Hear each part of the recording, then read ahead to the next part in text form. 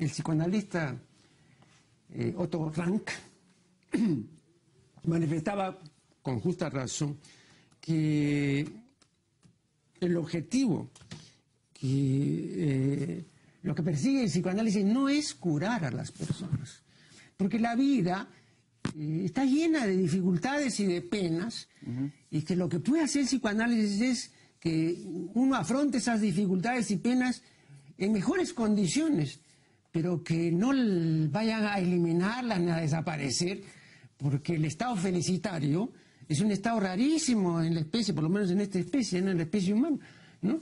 Y las más no son pues felices, ¿no? Y es normal que no lo sean y, creo que aquí nadie podría decir fácilmente yo soy feliz, etcétera, ¿no?